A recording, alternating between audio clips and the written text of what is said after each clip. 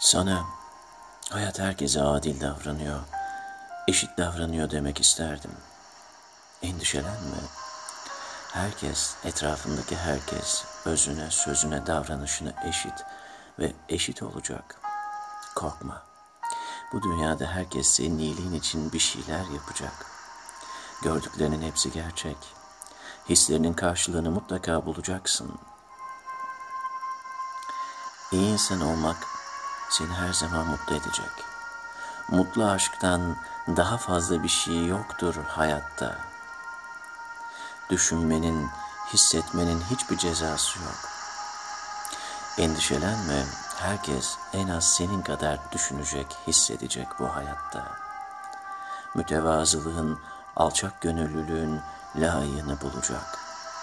Vicdanını, merhametini kullanmaktan korkma, bu seni yalnızlaştırmaz, üzmez.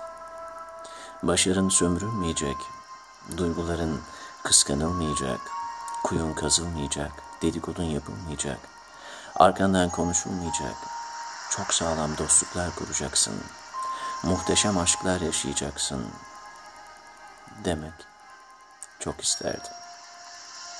Ama diyemem. Bu hayata dair emin olduğum tek bir şey var. Sadece onu söyleyebilirim. Büyük bir inançla. Mücadeleyi bırakma. Şartlar ne olursa olsun asla pes etme.